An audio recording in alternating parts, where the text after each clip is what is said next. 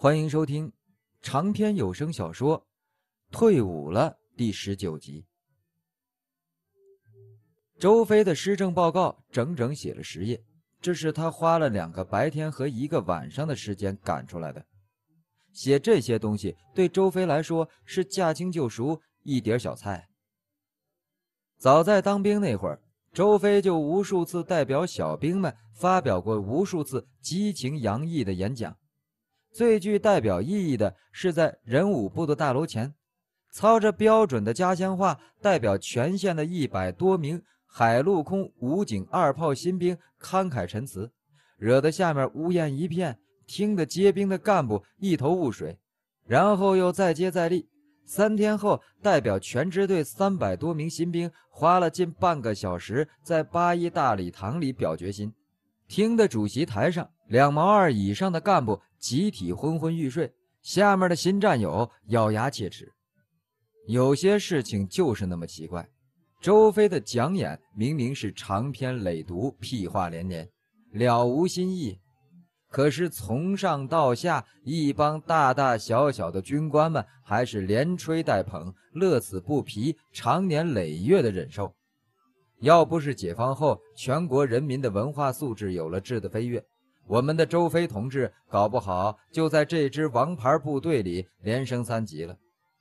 因为这种特长，新兵连结业的前一天，老连队的中队长和大队副教导员前赴后继，连夜赶来抢人。最终是胳膊拧不过大腿儿，周飞同志去了大队部享受正连级的待遇去了。后来宣传股要人，被大了半级的大队长一顿臭骂给顶回去了。周飞进了大部队以后，更是被当做了宝贝。下面五个中队，只要哪个中队的干部上支队以上的单位露脸的文字的活全让周飞给包了，代价是两盒红塔山。教导员同志只要逢大队政治教育或者出门开会，只交代周飞一句：“稿子弄长点，越长越好。”周飞写东西，教导员从来不修改。错别字也照着念。这一年的文书生涯，周飞的收获良多。第一是抽了好几条红塔山，第二是自信心空前爆棚，以至于后来养成了谁要是改他的作文，他就跟谁急的毛病。这事儿后来在工作的时候没少挨批评。这一次周飞就没那么好的运气了，可以说是颜面扫地。周飞怎么也弄不明白，这个东西怎么就传到了总经理的手上？怎么的也不用他跳下来管，中间隔了三五级呢？修为良好的总经理并没有发火，更没有挖苦周飞，而是就事论事，直接将周飞传唤到办公室，双手将周飞的立血之作捧给周飞。这个我看了，花了不少心血，辛苦你了。我有个小小的建议，能不能把这个压缩一下？因为看起来好像有一万多字，可是你所要表达的其实最多两千字就够了，你觉得呢？周飞听了，心里一沉。韩总显然是嫌文章啰嗦了，继而一阵委屈与愤怒自心底泛起。以前也都是这么写的，从来都是敲锣打鼓的说好。一时间，满心委屈的周飞激动的张了好几次嘴，都憋不出个完整的词儿，支支吾吾了好久，才挺起胸膛解释：“韩总，我以前写材料都是这样写的。”韩总显然对眼前这个毫不谦虚的年轻人有些不满，语气略带生硬的说道：“特勤兵同志，谦卑的态度是成长的基石。”解放军里没有长官，我们企业里没有领导。注：这里指的是材料的抬头写的是“尊敬的领导”冒号。这是其一。我要的是你以后的工作方法和步骤，以及预期要达到的目标，不是要你为我唱颂歌、为总统拉选票，更不要你那些惊天地、泣鬼神的感想。这是其二。用数字和具体动作讲话，该是谁的责任就是谁的责任，不要含糊其辞，动不动就相关事宜、有关部门，基本上、原则上，你会发现，到最后，连你自己都不清楚该找谁去配合，你的主管更没有办法考评你的工作。皮肤黝黑的周飞脸红的像是刚在油锅里捞出来的大饼一样，脑门上更是直冒汗。现在非但是被驳得无话可说，就是想顶几句也没那个胆儿了。总经理一顿数落之后，突然感觉有些太过了。当老板这么多年，阅人无数，他非常清楚，像周飞这样的性格，点到为止即可。口头激励远比苛刻的批评更有效。想到此，看了眼前受了挫折的年轻人，他的脸色缓和了下来，从办公桌后面站起来，走到周飞的面前，拍拍他的肩膀，意味深长地说道：“你很出色，现在欠缺的就是磨练。我愿意给你一个自由发挥的平台，好好干，一定有未来的。”保安室斜对着员工宿舍，这给樊静提供了很多便利的机会。站在三楼自己的宿舍阳台上，稍稍探一下头，就可以看见保安里发生的一切。当然，最重要的是，只要周飞当班，他的所有动作就可以尽收眼底。虽然樊静的影子没日没夜的在周飞的脑海中萦绕。而且早就感觉到樊静那双火热的眼睛，只要有时间，只要不睡觉，时时都盯着自己。可是周飞已经顾不了那么多了，他拼命的在工作上表现自己，下了班主动去仓库帮忙出货，晚上还要几次起来查夜。宿舍后面的那一大块草坪，一下雨杂草就会疯长，本来是所有保安义务要去捡的，但现在。几乎成了周飞家的自留地。在异性面前，周飞从来都不是个善于口头表达的人，特别是遇到漂亮的女生，心里有鬼，嘴巴就更不利索了。脸红并发手足无措，只是轻微症状，严重时常常是额头冒汗、嘴唇哆嗦，咕嘟半天也讲不出一句话。可他偏偏又是个多情种，嘴残志不残。穷则思变，想翻身做主人，就拿起笔杆子。所以周飞理所当然地将希望寄托给了手中的钢笔，把心思串成了一句又一句长长短短不知所云的句子。在荒废了等腰三角形和化学方程式后，理直气壮地成了诗人，专写情诗的诗人。学生时代的周飞。凭借锲而不舍的精神和对漂亮女生孜孜不倦的追求，笔耕不辍，很快赢得了民间无数的赞誉。那些神出鬼没的断句，一经面世，马上就会被一些晕了头的男同学哄抢。更有好事者集结传抄，在小范围内大面积流传，其受欢迎程度仅次于《少女之心》手抄本。周飞的很多同学过了十几年，仍然还记得当年最流行的那句：“你的双眸像一支锋利的钢筋，将我的心脏刺得鲜血淋漓。”隔了这么多年，周飞自己怎么也看不懂，当初为什么不写成两支锋利的宝剑呢？还是岳文平的解释够精辟？嘿，你小子肯定是头一天跟你舅舅在工地上。搬了一天的钢筋，第二天就看上了哪个瞎了一只眼的女生。女人就是那么奇怪，特别是正值怀春的少女，嘴巴皮子好使的都当做了哥哥，而晚上梦到了，绝对都是那些忧郁木讷、会舞文弄墨，但却又不善言辞的男生。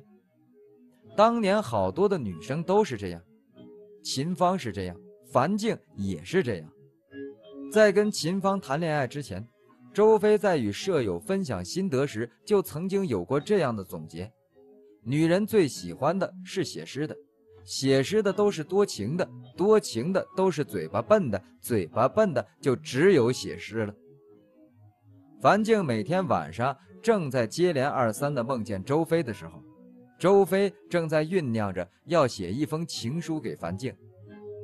夜深人静的时候，一个人在床上辗转难眠，另一个却在以茶叶的名义徘徊在宿舍楼下的草坪上寻找着灵感。周飞憋了好几天，揉碎了两本稿纸，最后一个字也没憋出来。一旦似有灵感的时候，脑海里樊静就变成了秦芳，而且一换人，秦芳就迟迟不愿下场。就在两人僵持不下的时候，广东女孩樊静终于还是耐不住出击了，而且用的是周飞最擅长的套路——情书先行。信是那个陕西的小保安交给周飞的，鼓鼓囊囊的。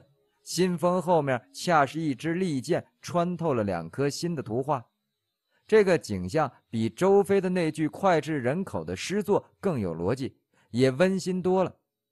信纸折成了千纸鹤，散发出花露水的味道的千纸鹤。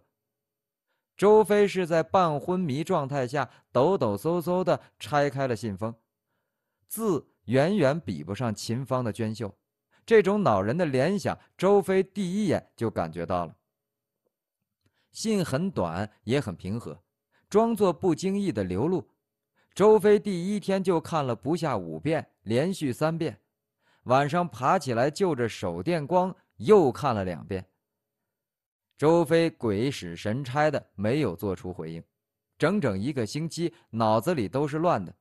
这一个星期，周飞有意无意的在回避着樊静。开饭后半个小时才会去食堂，而樊静的眼睛也肿了一个星期。樊静写信后的第八天深夜，周飞在工厂内的公用电话亭里打了岳文平的传呼机，这是周飞来深圳后第一次联系岳文平。没到五分钟，岳文平就回了电话。这一天是秦芳举行婚礼的日子，岳文平刚刚闹完洞房回家。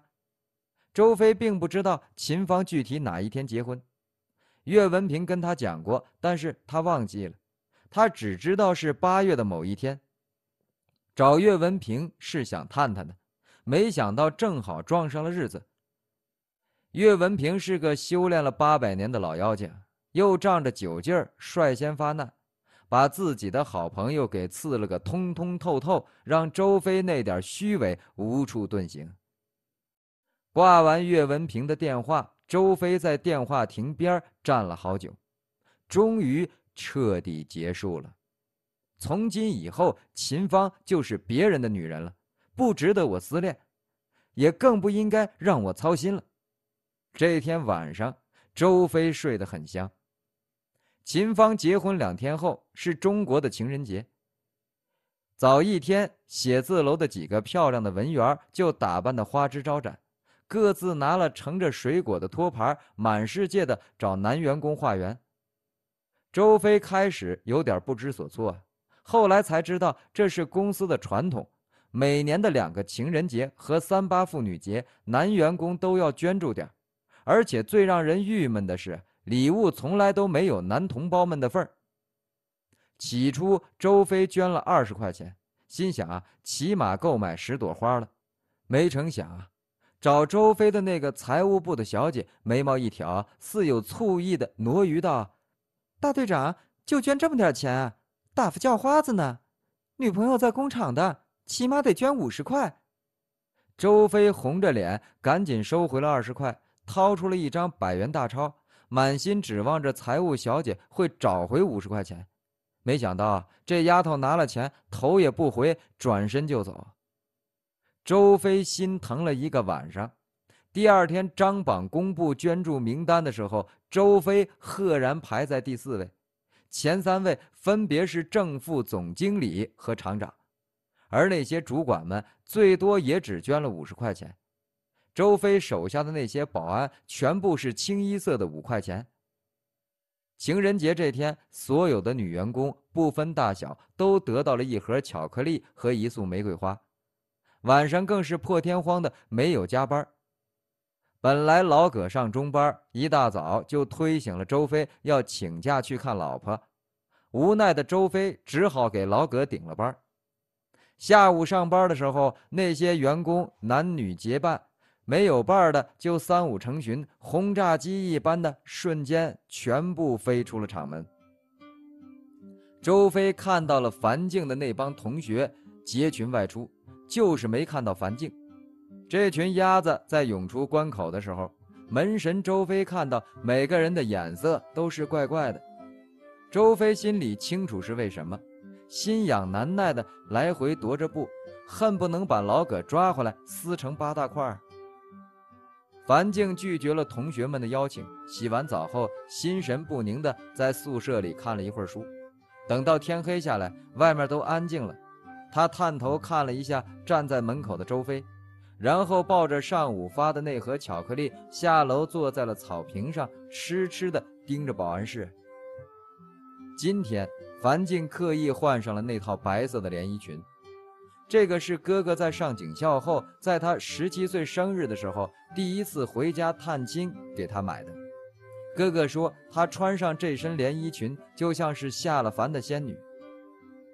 樊静下楼的时候，周飞就看见了。他好想冲过去拎起这个女人，不管有多么冲动，周飞还是胆怯了。总经理的办公室还亮着灯，跟自己搭档的那个保安也丝毫没有要离开的意思。就这样在痛苦中犹豫了好几个小时，樊静也这样痴痴地坐了好几个小时。周飞终于还是耐不住了，找了个借口离开了保安室。周飞并没有径直走向樊静。他知道那里的目标太大，他向樊静招了招手，然后走向了自己的宿舍。樊静有些晕眩，本来窝了一肚子火，坏蛋、笨蛋、傻蛋、王八蛋，他骂了不下一百遍。可是当这个可恶的男人向他招手的时候，他就彻底的被击溃了。眼前的这个男人好似一股巨大的磁场，让他无法呼吸，让他。更无法拒绝。周飞进了宿舍，樊静站在楼梯口，望着长长的楼道，不知所措。他不知道周飞在哪里，进也不是，退也不是。偌大的宿舍楼，他只听见自己的心跳声。周飞忘了樊静并不知道自己宿舍的位置，他分明看到樊静起身跟着自己，为何不见他进来？难道他不知道自己的意思？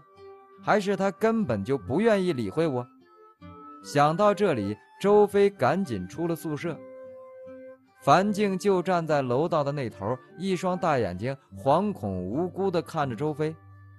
此时的周飞爆发出了惊人的能量，像一匹脱缰的野马冲向自己心爱的人，然后几乎将吓坏了的樊静拖向了自己的宿舍。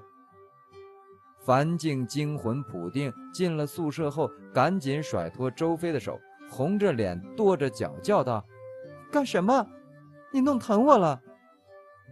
周飞双手撑在门上，将樊静罩在怀里，低着头说道：“我要你做我的女朋友。”樊静瞪着周飞，拉长声音嗔怒道：“我不！”周飞笑道：“为什么？你不是一直喜欢我吗？”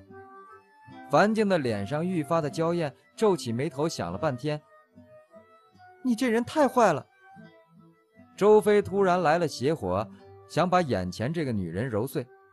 等他做事想抱起樊静的时候，鬼灵精怪的樊静从周飞的手臂下钻了出来，接着狠狠地踩了一下周飞的脚背，将手中的巧克力盒子扔给周飞道：“快去上班了。”然后拉开房门跑了出去。